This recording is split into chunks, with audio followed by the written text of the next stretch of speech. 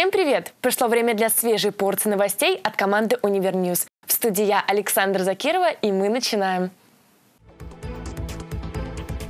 Чем Казанский федеральный удивил немецкое сообщество DFG? В униклинике КФУ прошел мастер-класс по кардиохирургии. Сеть 5G начинает работать к концу 2019 года. 26 февраля Ильшат Гафуров принял участие в работе Индийско-российской образовательной конференции. В рамках научного события состоялась встреча ректора КФУ и посла Индии в Российской Федерации. Стороны обсудили возможности для большей интеграции КФУ в проекты, направленные на культурный, научный и сценический обмен между странами. А мы продолжаем.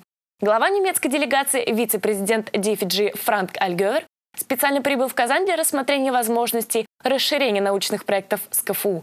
Подробности далее. Казанский федеральный почтил визитом вице-президент немецкого научно-исследовательского сообщества DFG, профессор Института теории систем и автоматизированных систем управления Университета Штутгарта господин Франк Альгевер. Целью встречи стало знакомство с научно-исследовательской деятельностью Казанского университета и рассмотрение подробностей участия представителей Казанского федерального в программе DFG. Встречу с Франком Альгевером провели директора институтов и ректор КФУ Ильшат Гафуров. Прежде чем речь пошла о проектах университета, глава вуза представил гостю ознакомительную презентацию о деятельности Казанского федерального. Что представляет сегодня научно-образовательная структура нашего университета? Мы э, имеем э, два филиала в Набережных Челнах и в Елабуге. Э, значит, это территории, э, где сегодня эти территории сегодня рассматриваются как территория роста для экономики э, нашего региона. Это территория, где э, локализуется достаточно большая промышленность. Немецкое научно-исследовательское общество DFG является центральной действующей на принципах самоуправления организацией германской науки, главной задачей которого является финансирование научных исследований при университетах и государственных научно-исследовательских институтах. Отбор лучших проектов осуществляется на конкурсной основе. Заслушав доклад Ильшата Гафурова, Франк Альгевер поделился с присутствующими впечатлениями. Сотрудничество с Россией СНГ рассматривается в DFG как важнейший приоритет. Основные задачи представительства заключаются в том, чтобы содействовать ученым и научным организациям в вопросах научного сотрудничества. Мы хотели бы быть стратегическим партнером и выражаем свою заинтересованность в расширении научного сотрудничества с Казанским университетом. Далее участники встречи обсудили работу немецкого научно-исследовательского сообщества и поддержку им исследовательских проектов во всех областях знаний. Научное превосходство, поддержка молодых ученых, междисциплинарность и международность стали основными темами беседы. Адель Шамилова, Владимир Нелюбин, Univer News. В университетской клинике Казанского федерального университета началась серия мастер-классов для высококвалифицированных специалистов. На операции побывал наш корреспондент Олег Кашин.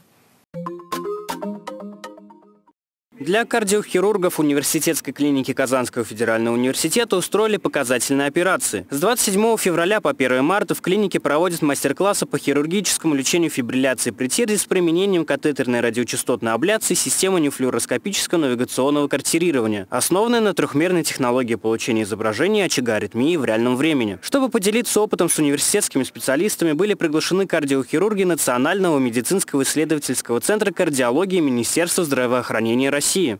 Благодаря оборудованию, которое было поставлено в конце того года и введено в строй а, на базе университетской клиники а, КФУ, возможно проведение сложных наконец, вмешательств а, по коррекции нарушения ритма практически любой локализации. В настоящее время начало этих операций было приурочено к проведению мастер-класса с помощью наших коллег из э, Российского кардиологического научно-производственного комплекса имени Мясникова мы начинаем этот ряд операций по лечению э, фибрилляции предсердия. Фибрилляция предсердия – это одна из форм аритмии, которая требует длительного приема лекарственных препаратов, но даже это не гарантирует защиту от ишемического инсульта. Катетерная радиочастотная абляция позволяет сохранить правильный ритм сердца и входит в перечень основных методов лечения данной болезни. В данном случае проводятся операции транскатетерно, то есть без больших рассечений, без больших доступов. С помощью катетеров происходит прижигание тех участков миокарда, которые служат источником или путем ненужных импульсов сердца. С помощью наших коллег нам удастся, я надеюсь, поставить эту операцию на постоянную основу. А пациентов таких много, и востребованность в подобных операциях высокая. За время мастер-классов университетская клиника Казанского федерального университета поможет 9 пациентам, а опыт, который получили казанские кардиохирурги, позволит проводить данную операцию регулярно. Олег Кашин, Ленар Давлетьяров, Univer News. С визитом в Елабужский институт КФУ прибыл профессор Оксфордского университета Сотирос Эндрю Мусалимус. Он пообщался со студентами факультета иностранных языков. Подробности встречи смотри в следующем сюжете. Профессор Оксфордского университета выступил с лекцией в Елабужском институте Казанского университета. В рамках визита доктор философских наук Сатирос Эндрю Мусалиму встретился со студентами факультета иностранных языков. Спикер ответил высокий уровень владения аудитории английским языком. Хотя во время этой встречи у меня не было такой возможности разговаривать обо всем, что их волнует, но все-таки я видел, что они заинтересованные люди. Они интересуются миром, они хотят знать, что происходит в мире, они хотят знать о своих собственных возможностях в этом мире? Я сама э, ездила по программе в Китай, и то есть для меня это был большой опыт, и сейчас, слушая профессора из Оксфорда, который выступает перед нами в нашем университете, я понимаю, что в принципе все реально, и мне предстоит обучение в магистратуре, и я считаю, что нужно где-то даже попробовать, может быть, подать заявку такие мировые университеты. Гостем лекции стал Николай Артемьев, заместитель начальника управления международных связей Северо-Восточного федерального университета. Мы уже два года работаем по проекту Erasmus+, с Казанским федеральным университетом. В этом году мы э, загрузили две заявки. Мы надеемся, что обе заявки одобрят, и мы начнем нашу работу совместную. Возможно, да, мы планируем обмен, внутренний обмен студентов между нашими университетами, можно на семестр или во время практик. Профессор Оксфордского университета провел с молодыми учеными мастер-класс по научным публикациям в рейтинговых журналах. На встрече обсуждались перспективы сотрудничества университетов и возможности совместных проектов. Анна Глазунова, Валентина Безбрязова, Денис Сипайлов, Univer News. Китай и Татарстан приступают к тестированию станций сети 5G. Новейшие разработки в сфере были предоставлены на Конгресс технологий в Барселоне. Как изменится современный мир с использованием 5G, вы узнаете в сюжете Артема Тупичкина.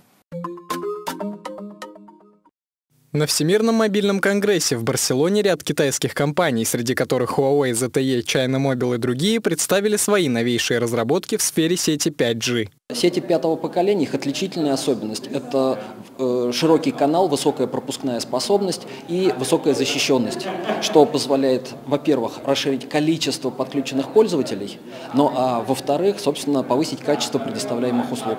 Скорости 5G в десятки раз превышают показатели прошлых поколений сети. Это позволит более прогрессивно осваивать умные сферы технологий, в том числе разработку беспилотных автомобилей, гаджетов и умных домов. Появление сетей 5G в широком применение, по сути дела, открывает возможность для расширения качества предоставляемых услуг, количества предоставляемых услуг. Но и с точки зрения конечного пользователя, это, безусловно, возможность с большим качеством, с более высоким качеством э, получать доступ к интернет-ресурсам. Китай в провинции Хубэй запустил первую экспериментальную базовую станцию мобильной связи 5G. Тем самым китайские компании уже приступили к тестированию сети. Татарстан планирует запустить тестирование 5G сетей в марте 2018 года. В данном случае Россия является одним из передовых государств. Ну и приятно, что площадкой для апробации этих технологий является Республика Татарстан, что подтверждает в очередной раз ее лидерство в области инфокоммуникационных технологий. В частности, планируется создать в Иннополисе зону сети 5G. Важной задачей опытной зоны является исследование рынка востребованных услуг в сетях 5G, демонстрация коммерческих возможностей и поиск эффективных бизнес-решений. Артем Тупичкин, Владимир Нелюбин, Univer News. Это были все новости на сегодня. Не забывай следить за нами в социальных сетях и до новых встреч!